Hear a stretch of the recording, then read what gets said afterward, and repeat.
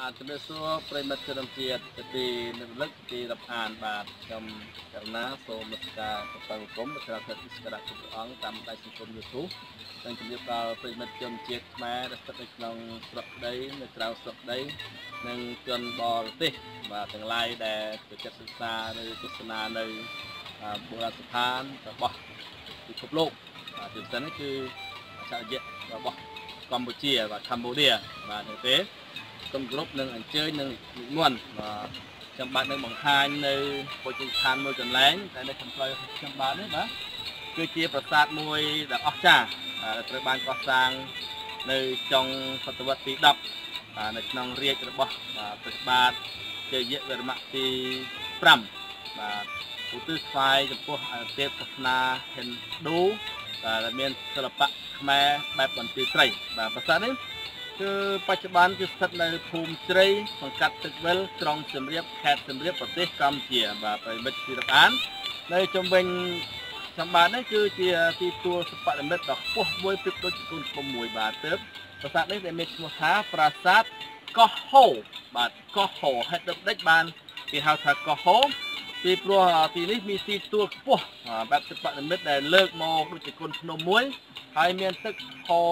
ពិតជំវិញដែលហូរចេញពីបារាយទឹកថ្លាមកបានគេឲ្យឈ្មោះថាប្រាសាទកោះហូប្រៀបប្រាសាទនេះប្រៀបដូចជាកោះមួយដែរពេលនៅខេត្តភាសាមានទឹកពិតជំវិញបាទប្រៀបដូចជាកោះទឹកបើគេហៅថាប្រាសាទកោះហូអញ្ចឹងទេសូមគោរពអញ្ជើញប្រិមិត្តនិងនៃព្រះធរៈការៈគ្រប់ព្រះអង្គសូមអញ្ជើញនិមន្តតាមដានជាមួយខ្ញុំបន្តទៀតនៅវីដេអូ YouTube ដែលខ្ញុំបាននឹងបង្ហោះនៅ account របស់ខ្ញុំបាទដែលមានឈ្មោះថាម៉ូដកខ្មែរអង្គរបាទសូមអញ្ជើញតាមដានបន្តទៀតបាទបាទប្រិមិត្តទីរាប់អានបាទសូមអញ្ជើញទស្សនានៅក្បាច់ចម្លាក់ថ្មភក់ដែលរាងដូចជានាគបាទដែលមានលំនាំស្រដៀងទៅនឹងប្រាសាទបាទបន្ទាយស្រីបាទដ៏ស្រស់ស្អាតបាទបាទប្រិមិត្តទីរាប់អានមិនទៅមិនមិនចូលទៅដល់នៅ ប្រាង្គនៃប្រាសាទកោះហូនេះខ្ញុំបាទសូមជម្រាបអញ្ជើញនៅនិមន្តបាទទស្សនានៅរូបភាពនៅក្បែរក្បែរប្រាង្គប្រាសាទកោះហូនេះបាទថាមានអ្វីសោះលក្ខចម្លែកនៃប្រាសាទនេះគឺមានបាទឃើញប្រាង្គចំនួន2បាទតាមគឺត្រូវមាន3ប៉ុន្តែឃើញតែ2សាសនាបាទទេសូមទាញទស្សនាបន្តបាទប្រិមិត្តទីអានបាទនេះគឺជា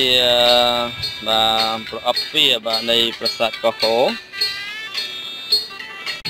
បាទមិត្តអានេះគឺជាបណ្ណាល័យបាទនៃប្រាសាទបាទកោះហូផងដែរបាទនេះបណ្ណាល័យបាទវាទីមានប្រអប់ទ្វារបាទ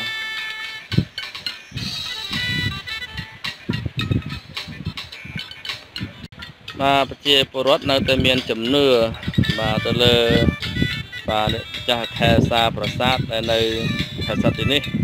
ធ្វើការបួងសួងបន្សន់បាទសំស្អីសុខសេមង្គលនិងវិធីផ្សេងៗរបស់សង្គមបាទបាទនេះគឺជាជំនឿរបស់ព្រះពលរដ្ឋដែលបានយកម្សៅមកត្រដោះលាបដើម្បីសំលៀបសក្ការៈផ្សេងផ្សេង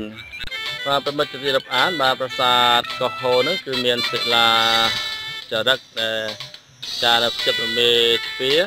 បាទសិលាចារឹកនេះគឺអក្សរស្រដៀងទៅនឹងប្រាសាទបន្ទាយស្រីបេះចាប់ដាក់តែម្ដង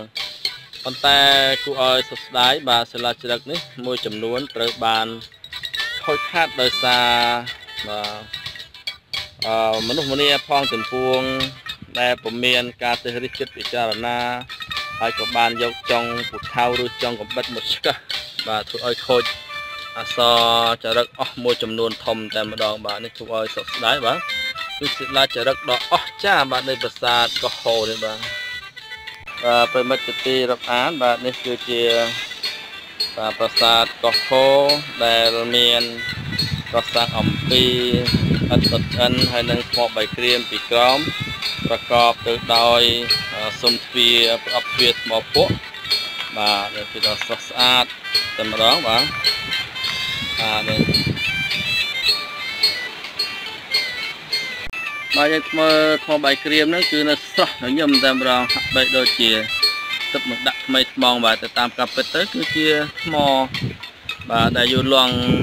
ដែលមានអាយុជាង1000ឆ្នាំហើយបាទប្រិមិត្តទីរាប់អានបាទสวัสดีทุกท่านพี่น้องนะครับ วันนี้กระผมมีเกียรติที่สุดจะได้พาทุกท่านพี่น้องพื้นบ้านนะครับ จะได้มาชมโบราณสถาน เขมรที่มีอายุประมาณพันปีกว่านะครับ ปราสาทนี้ที่มีชื่อว่าปราสาทเกาะโหเกาะนี่คือว่าเป็นลูกเขาหนึ่งหรือว่าเกาะที่มีน้ำอยู่ล้อมรอบเรียกว่าเกาะโหโหคือหมายถึงว่าน้ำไหลน้ำไหลลัดรอบข้างที่เกาะจึงเรียกว่าปราสาทเกาะโหนะครับก็เพิ่มสรุป ความหมายว่าปราสาทเกาะโหหรือเกาะไหลนี้ ถูกก่อสร้างขึ้น ในรัชสมัยข้าพระเจ้าชัยวรมะเทวะที่ห้าอุทิศถวายแด่เทพเจ้าศาสนาเฮนดูนะครับ แล้วก็อยู่ปลายศตวรรษที่ 10 มีศิลปะเขมรแบบบรรทายสีนะครับ ปราสาทนี้ก็มีปรางประมาณอาสองมีสองปรางนะครับ ที่ อีกปรางหนึ่งคือจะเสียไปแล้ว แต่ยังเหลืออีกปรางหนึ่งก็ยังอยู่มีศิลาจารึกอยู่นะครับก็เรียนเชิญทุกท่านพี่น้องเพื่อนบ้านนะครับ จะได้ชมวิวทิวทัศน์ล้อมรอบปราสาทเกาะโฮเนี่ยนะครับขอเรียนเชิญนะครับครับผมนะครับขอเรียนเชิญชมพระโยนีพระแม่อุมาเทวีอัครมเหสีของพระเจ้าอิสุนนะครับ แต่ศิวลึงตอนนี้ก็ไมาอยู่ว่าอยู่ที่ไหนนะครับ แต่ตอนนี้ก็ยังเห็นแต่รอยพระแม่อุมาภวะเทวีนะครับขอเชิญชมนะครับ ครับผมขอเรียนเชิญชมที่เฉิงที่สำหรับใส่หรือก็ต่างประมาเทวรูปต่างๆในสมัยนั้นนะครับ ที่ถูกสร้างขึ้นเป็นเอ่อมาจากศิลาทรายนะครับ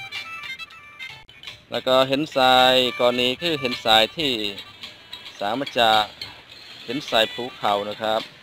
ภาษาอังกฤษก็เรียกว่า sandstone ครับผมเรียนเชิญกับทุกท่านพี่น้องพื้นบ้านจะได้ชมวิวทิวทัศน์ของชาวนากัมพูชานะครับก็เรียกว่าคนที่นี่ก็เรียกว่าคนเขมรแล้วก็ทุกชานาเรียนเชิญชมวิวทิวทัศน์ที่ชาวนากำลังที่ปลูกข้าว แล้วก็ออกเขียวขจี แล้วก็อีก3เดือนข้างหน้านี้นะครับ แล้วก็จะเกี่ยวข้าวได้ ผมหวังว่าทุกท่านจะได้ชมวิดีโอของกระผมเสร็จแล้วนะครับ ก็โปรดช่วย subscribe อ่ายูทูบกับผมด้วยนะครับ ขอบคุณมาก แล้วก็กระผมส่งวิดีโอคลิปนี้ให้ทุกท่านพี่น้องคนพื้นบ้านนะครับ ที่จะได้ ชมโบราณสถานของกัมพูชานะครับ ที่มีอายุพันปีกว่าก็มี900ปีก็มี800ปีก็มีนะครับกระผมบรรยายไปแล้วก็มีความพลังพลาดคำศัพท์ตรงไหนขอให้คณะทุกท่านพี่น้อง แล้วก็โปรดอภัยกับผมด้วยนะครับ ผมบรรยายเป็นภาษาไทยส่วนมากก็เป็นบรรยายเป็นภาษาเขมรเองนะครับ แต่วันนี้ก็ใจกานะครับ จะได้บรรยายเป็นภาษาไทยให้ทุกท่านได้ฟังเนี่ยขอบคุณมากขออำลานะครับสวัสดี